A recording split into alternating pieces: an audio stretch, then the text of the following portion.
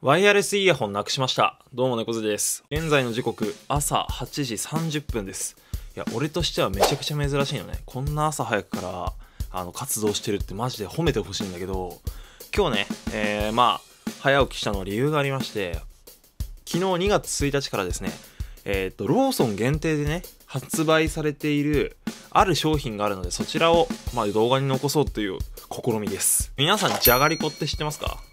まあ人気お菓子だよね。俺がちっちゃい頃からずっとあるお菓子なんだけど、これのね、まあちょっとバージョン、なんかプロトタイプみたいなやつが出たんで、ちょっとそれを買ってきたので開けてみたいと思います。じゃがりこ、細いやつ。何それって感じじゃね？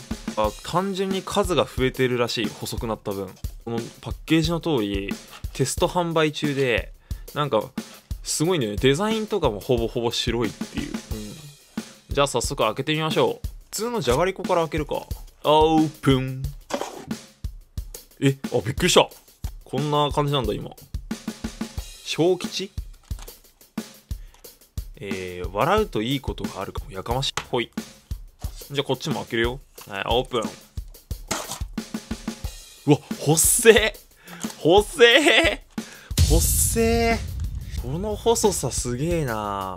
完全にノンスタイル石田だよね。1本ずつ出してみるかほい。こっちが細いじゃがりこでこっちが通常のじゃがりこ。まあ長さは一緒だけどやっぱ細さが全然違うね。2分の1ぐらいだね大体。じゃあちょっと食べてみるか。まず普通のじゃがりこ。普通のじゃがりこね。いただきます。いやこれだよね。マジでうめえ。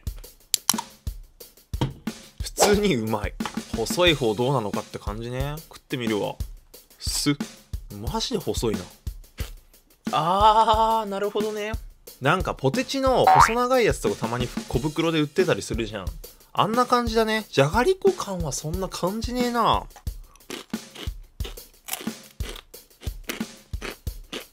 いや正直じゃがりこ感はそんなないかも。また別のお菓子って感じする。ちょっともう一回こっち食べていい？もう一回こっち食べるわ。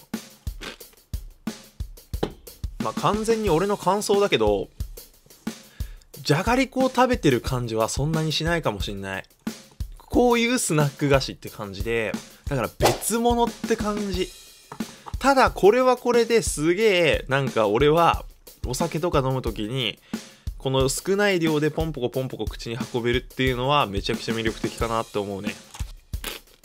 これはね食ってみなきゃわかんないかも。ちょっとごめん編集途中までやっててまた回してんだけど今編集しながらあの黙々と食べてたのはこっちだった。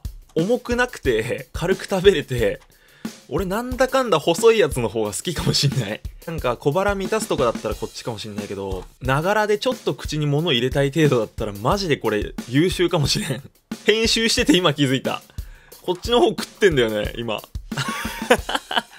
だからねこれ何かしながらで食う時めっちゃいいかも。お腹もそんなすぐいっぱいにならないしこのサクサク感を継続できるっていうかいやもうこっからもうまとめに入ろうあということでねじゃがりこの細いやつっていうね、ちょっとテスト販売されてるものを買ってみたよっていう動画だったんですけど、動画で最初食べた時は、まあこっちの方がじゃがりこって感じするわって思ったんだけど、あのね、編集しながらいざ食べてみると、こっちも開けてんのに、こっちの方食ってた。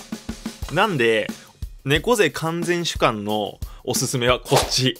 だからこれはぜひこのテスト販売を乗り越えて、あの、正式に売ってほしいなって思いました。なんか構想から4年ぐらいかかってるらしいね、これね。ちょっとこれ、いいわ。ということで、えー、改めまして、じゃがりこの細いやつの紹介でした。いつまでテスト販売になってるかわかんないけど、気になった方はぜひ買ってみてください。ということで、猫背でした。